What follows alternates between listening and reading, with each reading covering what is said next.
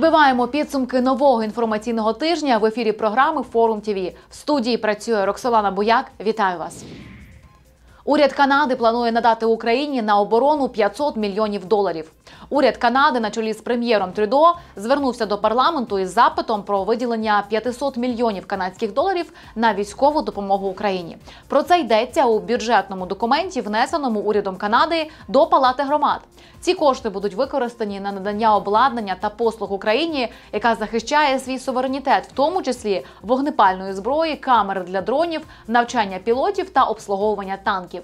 У документ також включено близько 38,5 мільйонів доларів на канадську військову тренувальну місію Юніфаєр, а ще більш як 67 мільйонів доларів на міграційну програму канадсько-український дозвіл на екстрені поїздки.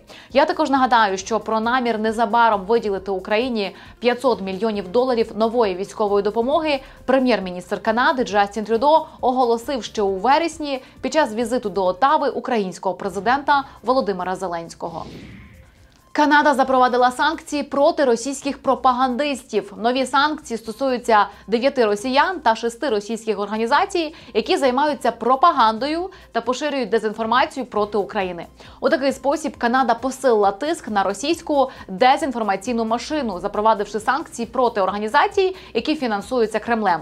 Ці організації поширюють неправдиву інформацію та пропаганду, щоб підтримати війну Росії проти України. За словами міністерки закордонних справ Канади Мелані Жолі, канадський уряд спільно із міжнародними партнерами протистоїть російському режиму та бореться з російською дезінформацією. Канадська активістка миру Вівіан Сільвер, яку вважали заручницею, загинула під час атаки Хамасу на Ізраїль. Сім'я жінки підтвердила її смерть. Активістці було 74 роки. Вівіан Сільвер народилася та виросла у Вінніпезі. Була активною членкиною організації, що виступали за врегулювання ізраїльсько-палестинського конфлікту. Як повідомила сім'я загиблої, Сільвер поселилась всього за кілька кілометрів від кордону Ізраїль-Газа та докладала багато зусиль для досягнення миру між обома сторонами. Сільвер була керівницею інституту стратегії миру та розвитку та активно виступала від організації Жінки ведуть мир. Вона також волонтерила в організації, що займалась перевезенням палестинців в ізраїльські лікарні з Гази. 234 канадці покинули сектор Газа минулої неділі. Про це повідомило Міністерство закордонних справ Канади. Прикордонний пункт Рафах знову відкрився для іноземців 12 листопада. Через нього 234 канадці, постійні мешканці та члени сімей, які мають на це право, перебралися до Єгипту. Поки вони чекають на можливість повернутися додому, посольство Канади в Каїрі надає їм деякі продукти першої необхідності, їжу, житло та консульську допомогу. МЗС Канади зазначає, що уряд Єгипту дозволив іноземцям, які потрапляють до країни із Гази, залишатися в Єгипті максимум 72 години. В Канаді суттєво зріс рівень антисемітизму на фоні війни між Ізраїлем та Хамасом. В Канаді суттєво зріс рівень міжнаціональної та міжрелігійної ненависті. Про це заявив прем'єр-міністр Джастін Трюдо. Він також сказав, що цитую владу лякає зростання антисемітизму. Коктейлі Молотова кидають у синагоги. Єврейським підприємцям погрожують вчиненням жахливого насильства. Ненависть направлена проти єврейських садочків. Це має припинитися. Кінець цитати. Він також звернув увагу на неприйнятне зростання ісламофобії в Канаді та по всьому світові. Ненависть до мусульман, палестинців, будь-кого із палестинським прапором неприйнятна. Канадці не такі. Якщо Канада не здатна дати цьому ради, то хто у світі зможе? Це була цитата прем'єра. До слова, цього тижня в єврейський культурний центр Монреалі жбурнули коктейль Молотова, що спричинило невелику пожежу. Загалом, за даними поліції, з 7 жовтня в Монреалі було зареєстровано 48 актів ненависті проти єврейських громад і 17 проти арабсько-мусульманських. При цьому за весь минулий рік в Монреалі скоїли всього 72 злочини на ґрунті ненависті. І на продовження теми Британія попередила про високу загрозу терактів в Канаді. Уряд Великої Британії оновив рекомендації щодо подорожей для своїх громадян, у яких попереджає, що Канада дуже ймовірно стане жертвою терористичних атак. В повідомленні, опублікованому на урядовому вебсайті, йдеться, що терористи дуже ймовірно спробують здійснити напади в Канаді. Це була цитата. Британський уряд стверджує, що напади можуть бути невибірковими, в тому числі в місцях, які відвідують іноземці. Чиновники просять бути мандрівників завжди пильними, бути в курсі свого оточення та повідомлень місцевих змі, а також дотримуватись порад місцевої влади. За даними федерального уряду, рівень терористичної загрози в Канаді зараз оцінюється як середній що означає, що терористичні атаки можуть виникнути, хоча влада применшує будь-які конкретні причини для тривоги. До інших новин більшість шкіл Онтаріо потребують додаткового фінансування. Директори середніх шкіл провінції заявляють, що не відчувають підтримки у зв'язку з прийняттям влади провінції рішення про перехід 9 класу на новий рівень навчання. Згідно даних звіту, опублікованого організацією People for Education, близько 53% директорів шкіл, що взяли участь в опитуванні, заявили, що вони отримали недостатню підтримку із сторони міністерства і шкільної ради, аби втілити в життя дестримінг. 96% директорів зазначили, що їм необхідні додаткові засоби для найму спеціалістів, наприклад, асистентів вчителів. 93% директорів повідомили, що їм необхідна підтримка для організації навчання і підвищення кваліфікації вчителів у питаннях роздільного навчання. 85% респондентів заявили, що їм необхідне фінансування для зменшення розміру класів, що на їхню думку вкрай важливо, оскільки звичайні класи є переповненими учнями, що отримують спеціальну освіту. Центральний банк Канади попередив про високі процентні ставки в майбутньому. Там кажуть, що процентні ставки можуть не повернутися до рівня, які існували до пандемії ковіду. Старша заступниця управляючого банком Канади Керолін Роджерс повідомила, що в довгостроковій перспективі канадцям варто готуватися до високих процентних ставок. За її словами, цьому сприятимуть структурні зміни у світовій економіці, більш високий рівень державного боргу та геополітичні ризики. Адаптація до вищих процентних ставок в довгостроковій перспективі стане великою зміною для всіх від урядів та підприємств до домогосподарств після 15 років низьких ставок в Канаді. Проте саме високі ставки поступово знизять дестабілізацію фінансової системи. Також дані досліджень вказують на те, що канадці пристосовуються до вищих ставок, обмежуючи витрати та кількість кредитів. Будівництво чотирьох десятків кондо-проєктів Великому Торонто відклали через економічну невизначеність.